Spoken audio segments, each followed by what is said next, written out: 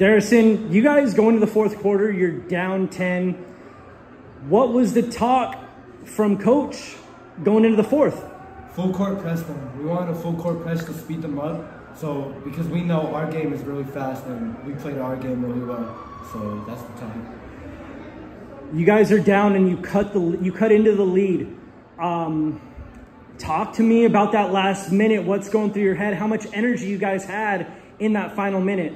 Uh, the adrenaline is just super pumping. Like the crowd's loud, and we we want this. We wanted to win that so badly.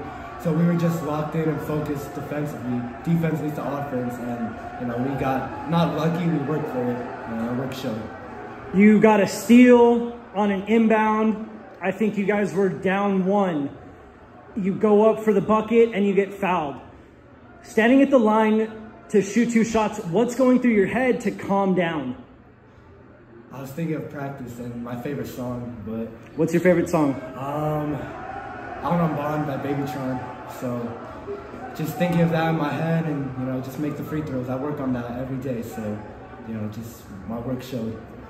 You hit the first, tie the game. Hit the second. Was there a sigh of relief with two seconds left, or was it let's get back on D?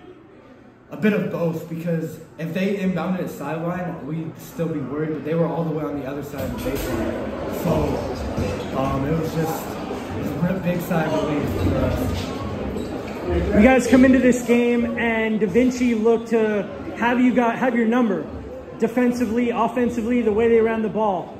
How did you guys stay with your approach? I'm not gonna lie, uh, Shane Vizcayo helped big shots. He got, he was hot, so we got the ball to him, and he hit. He helped bring us back. What does this league title mean to you?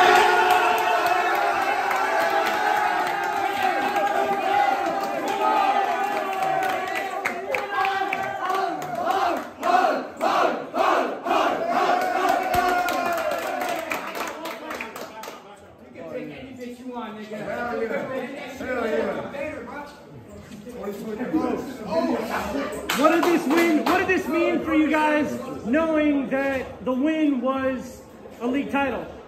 It was a big win for Gundam, not just the team, not just the program, but for all of Gundam. We love the game and we worked really hard for this, so it feels so good.